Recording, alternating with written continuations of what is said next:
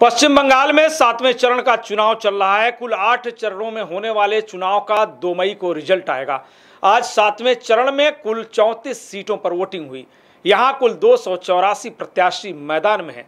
चौंतीस सीटों में Dakshin Dinajpur, Kolkata south, Malda part one, Paschim Bardhaman के साथ ही मुख्यमंत्री ममता बनर्जी का वर्तमान विधानसभा क्षेत्र भवानीपुर भी शामिल है। निर्वाचन विभाग के अनुसार आज पचहत्तर दशमलव शून्य छह फ़ीसदी वोटिंग हुई है।